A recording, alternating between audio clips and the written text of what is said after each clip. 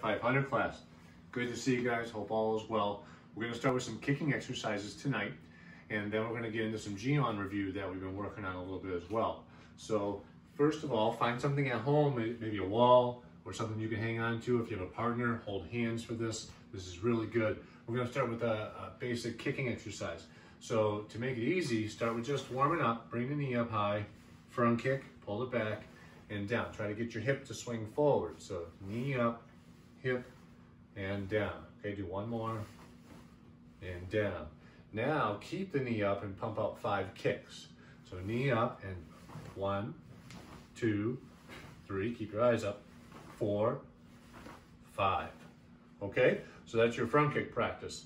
And you can always switch legs, of course, if you want to break in between, or you can go to the next kick, and next one will be roundhouse kick.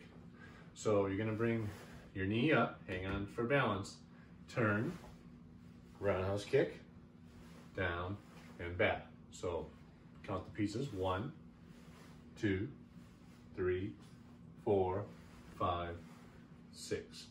Now you're gonna go up from this position, you gotta kick and then come back, keeping the knee up. Two, three, four, five.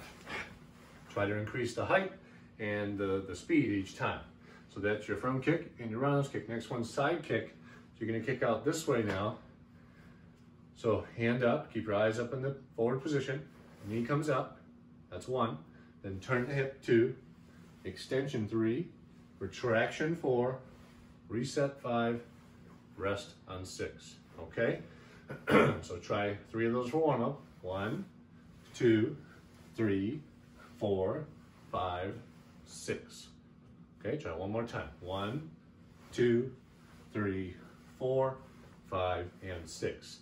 Now the knee's gonna stay up, kick and retract. One, two, keep that knee up. Three, four, and five. Remember your eyes have to stay on target to help you uh, keep that balance and be accurate with the kick. Of course, rewind the tape now, turn it around, and do the front kick, the roundhouse kick, the side kick drill. And if you want to add a bonus exercise, do that hook kick, okay? When you're done, loosen up for a second. We're gonna go in the Jion. Just gonna review a little bit, make sure we're not falling behind on that. Ready, Jion, bow, yoi, left leg back, right hand breaks high. Then, look to the angle, left angle, step in with the left foot, slide forward, back stance. Remember it's a back stance, so Jiin does the forward stance. Then kick, pull, punch. Then punch, punch. Then look, draw back, right leg in, slide into your back stance, left leg, kick, pull, punch. Double punch. Now, look to the front, right hand reach, block with the left, punch with the right. Step and reach, remember to twist the shoulders.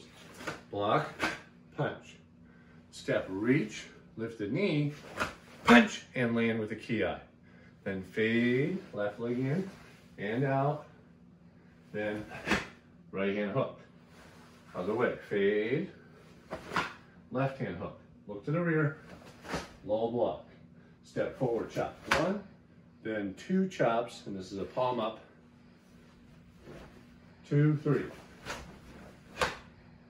Okay, everybody, that's where we left off with the group. So if you haven't had a chance to practice that, feel free to work on that. There's also other videos in the history there that can help break those pieces down if you're having trouble. So great job tonight. Remember to hold the wall, do those kicks. Nothing better for when you're uh, getting tense at home. Let those kicking muscles work out. It's a good chance to get those legs loose. Helps the body relax. Good job, everybody. See you soon.